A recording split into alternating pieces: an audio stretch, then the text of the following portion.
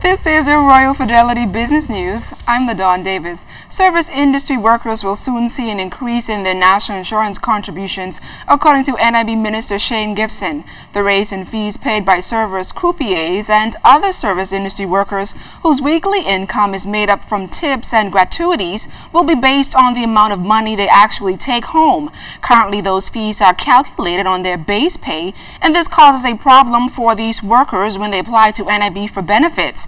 With the new fee structure, workers will pay more but will also receive more in benefits. The new system should come into effect as early as July. 236 companies affected by the New Providence Road Improvement Project have been given certificates of relief. This coming from the Minister of Finance, Prime Minister Perry Christie, in his budget wrap-up last evening. The certificate will allow relief for businesses affected in a number of ways. More than half the businesses have accepted micro or government guaranteed loans from the Bahamas Development Bank.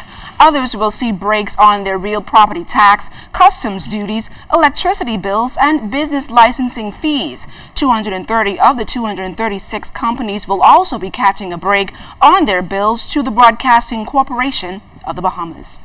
The NCAA's March Madness starts this week, and once again, employers in the U.S. are bracing for the annual dip in productivity. Last year, businesses in the United States where college basketball's national championship tournament is an annual celebration of workplace distraction.